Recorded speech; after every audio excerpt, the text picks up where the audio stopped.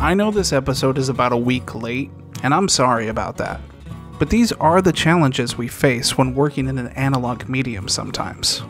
Long story short, it took time to develop these images, and they're just now getting here.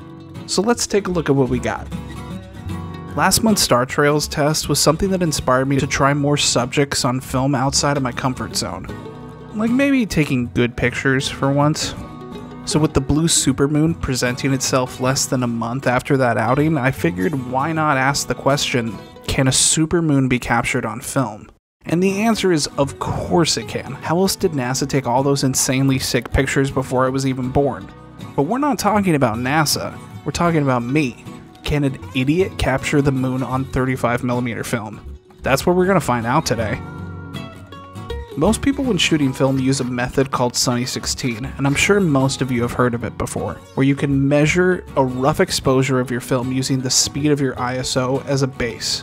But tonight I'd be using something different, but almost the same, a method called Luney 11.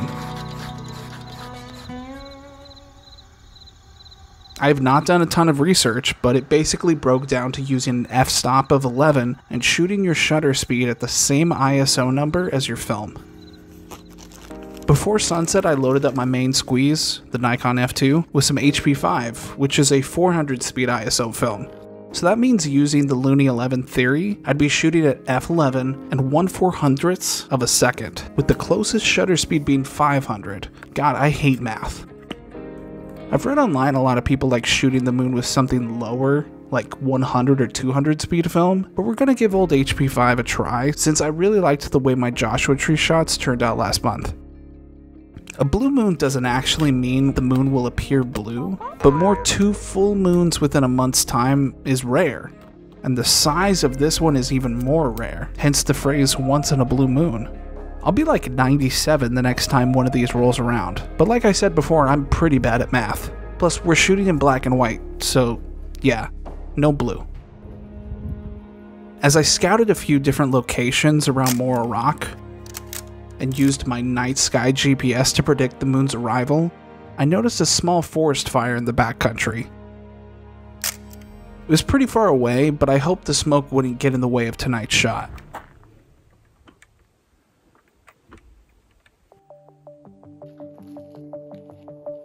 And then, really, all there was to do after that was wait. And I waited. So much so that I got antsy and changed my position about three different times before the moment actually happened. But when it did, we did get something. It's not perfect, and I wish we were able to capture more of the surrounding peaks and the stars in the background, but this actually perfectly highlights a common moon landing myth. People often ask when looking at the astronauts on the moon and that footage, why are there no stars? The exposure of this shot actually perfectly illustrates how depending on what you expose for and for how long determines what you can actually see. I took a longer exposure and you can clearly see in doing that, the moon looks more like a white streak across the sky since it's moving much faster than any of the stars due to the distance between the Earth. And it's not exactly something that works for me. I did take some star trail photos later that night. This first one is about 25 minutes, and the next one was a little over an hour. I like the placement of the first shot much more because the moon hadn't fully washed out the night sky yet with its massive glow. So, back to our question Can you photograph the moon on film? Yes. Should you? I'm not so sure I will again, but I sure learned a lot in this experiment. What I do know is I wasn't done trying new things on this trip. So the next morning I got up before dawn and took this the last sliver of the moon before it dipped back behind the horizon and the sun took it away. But taking pictures is not something you can always plan for.